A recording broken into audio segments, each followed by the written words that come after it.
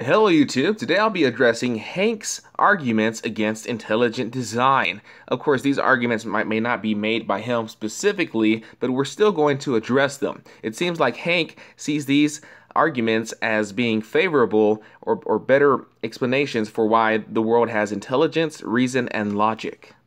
Elements of the natural world operate according to complex laws that sustain a beautiful natural harmony. Paley said that this couldn't possibly just have happened any more than the design of a pocket watch could just have happened. There must be a designer. If you accept this analogy, then you agree with Paley that just like the purposefulness of a watch compels us to believe in a watchmaker, the purposefulness of the world compels us to believe in a world maker, God. And you might think this is a fantastic argument. It might even be what motivates your own belief in God. There are lots of people who say things like sunsets and babies show them that there must be a designer god. But some of you probably aren't buying it, and you know what to do. Arguments are refuted by counter arguments. No duh, Hank. Give us a little credit here, guy.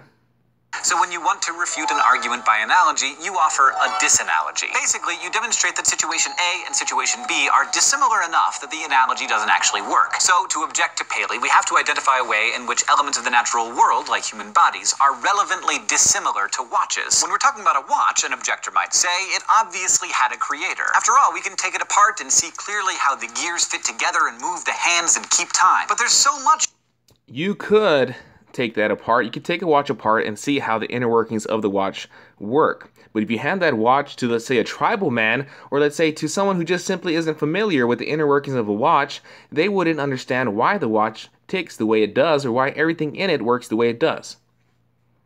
In the natural world that isn't understandable in the same. You say that you say that there's so much in the natural world that isn't understandable in the same way. Well, in this circumstance, you would be the tribal man who simply doesn't understand why it works the way it does. However, it's the other way around. We understand so much more about our biology and the reasons why it works the way it does than what we don't understand. In fact, science just, just science itself just recently discovered the purpose for the so-called junk DNA, which was pre previously thought to have no purpose, when in fact its purpose is crucial to our biological makeup. And I'll let Richard Dawkins explain that at the end of this video, just in case your bias gets the better of you. For instance, why would God have designed our eyes to have a blind spot? Haley you ask why we have a blind spot. Well, according to illinois.edu, all the information that the retina picks up is sent to the brain through the optic nerve. The only the only problem is that the optic nerve needs a way to get out of the eye. The place where it leaves the eye is the so-called blind spot. However, if you have both eyes open, it, it rids us of the blind spot. So unless you're driving or walking with one eye open, you won't have anything to worry about. However, I don't recall the Bible saying anything about this world being perfectly made. Furthermore, in another video, you praise the sight of the octopus because they do not have a so-called blind spot. However, the octopus can't see in color, and can you really compare the eye, or can you really compare our eyesight with the eyesight of another animal? It is because of the way we see that we are able to develop the way we have been as the human species responded that it doesn't matter whether we can understand how something was created. The point is simply that it was. He might point out, for instance, that I actually don't understand the inner workings of my phone, but I still know it had a creator. Whether or not I understand how it was created is beside the point. Next objection, some parts of nature... If it's beside the point, then why bring it up, Hank? Seem to be without purpose. A blind spot obviously doesn't have any function, and neither do nipples on a man. Nipples on a man. Well, our natural surrounding reveals a self-sustainable world, and in order to be self-sustainable, the world needs to be the world needs to work in a certain way that is consistent. The only reason why men have nipples is due to this need for self-sustainability. For self-sustainability. For example, our our survival was largely dependent on breastfeeding, so the nipple-carrying gene is strong in our biological makeup. Therefore, we bear the effects of this strong gene. As males, we carry feminine genes in order to pass those genes to our offspring. In fact, males are the ones who determine the sex of their offspring. So we need this gene to even to to give it to our daughters, pretty much is what I'm trying to say. Other animals aren't as reliant on breastfeeding and so they escape this natural effect. So by both men and women having nipples, we are able to see that men and women are one. And just like men, a woman is attracted to their counterpart's body, including their nipples response here was just because you don't know there's a purpose doesn't mean there isn't one. But this is a problem too, because his whole argument for believing in God is that you should look at the world and see purpose. So if we see some things in the world that are working great and really. No, his argument isn't that we should look at the world and see purpose, it's that there is purpose whether or not we realize it seem to have complexity and definite use and others that don't, that's a flaw in his argument. What's more, the absence of any obvious purpose in things can lead people to start searching for purposes, effectively making them up. For instance, I could find a purpose for this finger. I could use it as a nose picker. It would make a good one. It's just the right size to really get in there and dig around, but was my finger designed to pick noses? Your finger was designed with multiple purposes in mind, one of which is to help you clean your nose. I think a distinction can be clearly made between scientific and objective purposes and biased opinionated purpose, purposes which are defined by our desires and wants. For example, I could want a falling star to be a sign of something more symbolic. However, I cannot not want that star to be an asteroid that has decreased in speed due to entering the Earth's atmosphere. It's your kind of thinking that leads people to believe that they can actually change their sex. Probably not. 20th century British philosopher Bertrand Russell made fun of this purpose finding tendency by pointing out that you could look at a bunny and form the belief that God gave it a fuzzy white tail so hunters would have something to shoot at. The point is, if we're the ones inventing purposes rather than recognizing ones that are inherently there, then we're the real creators of purpose in the no, Hank, that's exactly what you are doing by asking why our eyesight isn't better than it already is.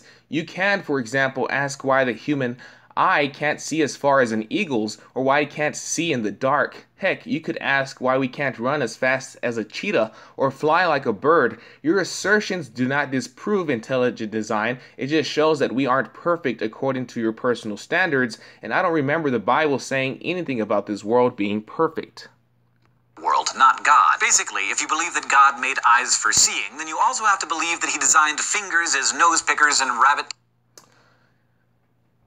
tails as bullseyes and blind spots as ways for us to get into car accidents. Unless you're driving with one eye open, you won't have a problem with your blind spot. However, there is the car's blind spot, which is something completely different. Unless we can see 360 degrees around our heads, it will always be a problem. However, the human's eye was designed to be forward-looking for really for really great purposes. One reason is to help us maintain a great level of concentration. If it wasn't for our forward-looking viewpoint, we wouldn't be as in, as intellectual as we are today. However, a better question to ask is why it, a better question to ask whether is, is as whether or not humans were made to drive cars. According to all academia, the human's biology was not made to drive cars. It is very unnatural, and it's the main reason why so many accidents happen to begin with. And there you go again, and there you go again, Hank. You're mixing scientific objective purposes with subjective opinions argument here is we don't just get to pick and choose and say God designed the stuff we want him to have designed and not the other stuff. Rather than searching for disanalogies, another way Paley's argument has been countered is with an alternative explanation for condition B. Paley says that bodies are purposeful and from there concludes that the purpose had to have been put there by an intelligent creator. But another explanation for how bodies came to have the complexity and functionality they have today is natural selection and random mutation. We can concede that the existence so let's be honest, guys. Has Hank provided an argument that outweighs the argument of intelligent design? I think the obvious answer is no, but Hank is rather biased in his assertions. Now let's take a look at what Richard Dawkins has to say about intelligent design. So I really I found this really cool video, um, and it compiles a lot of videos of Richard Dawkins talking about intelligent design and what we see in biology.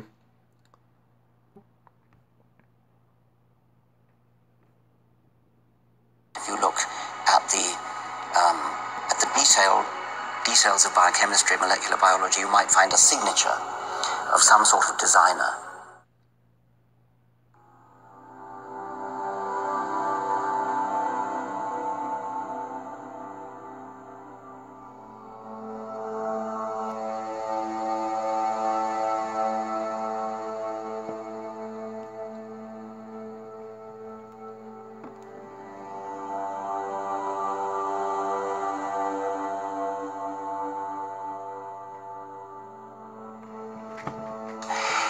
in biology, I suppose it would have to be the double helix, uh, Watson and Crick discovery of the structure of DNA, which is far more, was far more than just the discovery, the crystallographic um, work, discovering the structure of, of a big molecule, because what they, what that led up to was a major revolution in which much of biology became a sort of branch of information technology. Um, the consequence of the Watson Crick discovery, with all that it led on to, with the, the DNA code and the sort of um, uh, various genome projects that are going on now, is that genes, which from my point of view are absolutely central to biology, genes are information. They are coded information. It even looks like computer information. I mean, a, a, a chromosome is, is a great long computer. I find that very interesting given that many of my um, critics say that DNA does not have information, that it does not is, is not coded, and here you have Richard Dawkins saying the complete opposite. Tape. It's linear, it runs one one dimensional, digital code. Um, not binary, it's quaternary, but apart from that, it's, it's just the same as, as computer tape. It's, it's read in, in sequence, um, it's copied and pasted from one part of the organism to another in just the same way as, as a computer programmer would cop- copy and paste. Um, so biology has turned into, into computer science. Um, whereas we thought that only a minority of the, the genome was doing something, namely that minority which actually codes for protein. Um, uh, and, and, now we find that that actually the majority of it's doing something. What it's doing is calling into into action the protein coding genes. So you can think of the protein coding genes as being the sort of toolbox of subroutines, which is pretty much common to all mammals. Mice and men have the same number, roughly speaking, of protein coding genes, and that's always been a, a, bit of a blow to the self-esteem of humanity. But what the point is that that was just the subroutines that are called into being. The program that's calling them into action is is the is the the rest which had previously been written off as junk. You see, um, even today you have many atheists claiming that uh, our DNA, uh, most of it is, is considered junk. And here you have Dart Dawkins himself saying that we've learned that it, it isn't junk, that it does all have a purpose. An individual organism is a throwaway survival machine for the self replicating coded information which it contains. And the fate of that coded information is crucially bound up with the fate of the body in which it sits.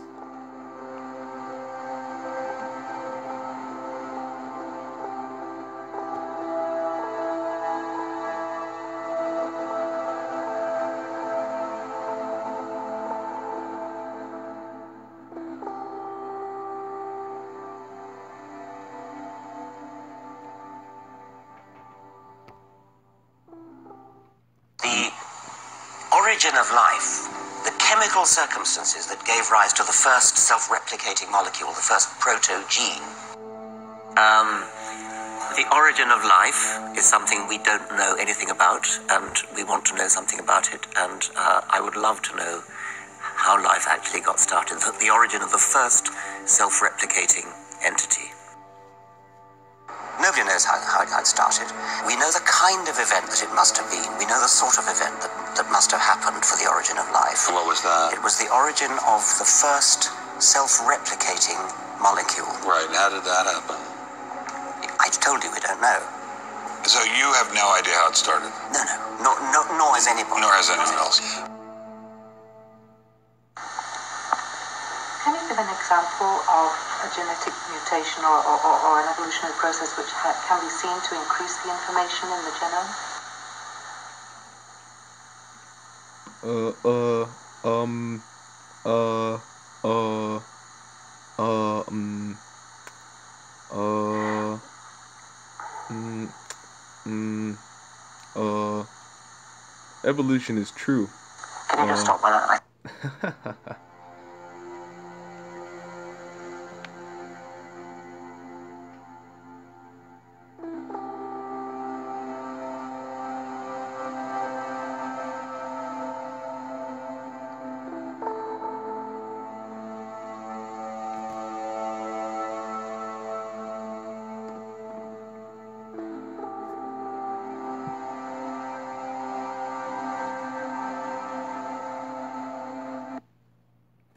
And in, in one vi- in, in one of those videos, you hear Dawkins even playing with the idea that aliens came down to Earth and made the DNA themselves. They they manipulated our DNA because he, he, just can't find an, an explanation for it. So I hope you enjoyed this video, guys, and you have a blessed day.